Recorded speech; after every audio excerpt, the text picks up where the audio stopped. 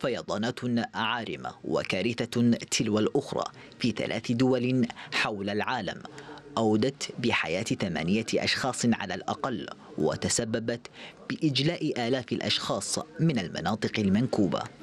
الإعصار ياكو الذي ضرب شمال غرب البيرو تسبب بمقتل ستة أشخاص وتدمير مئات المنازل جراء الفيضانات حسب ما أعلن الدفاع المدني.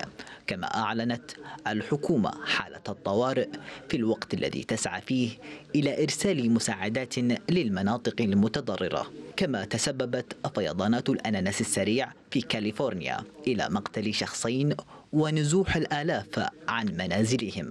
كما أعلنت سلطات المقاطعة أن عاصفة تسببت في فيضانات طوفانية أدت إلى انهيار سد على نهر بيجارو.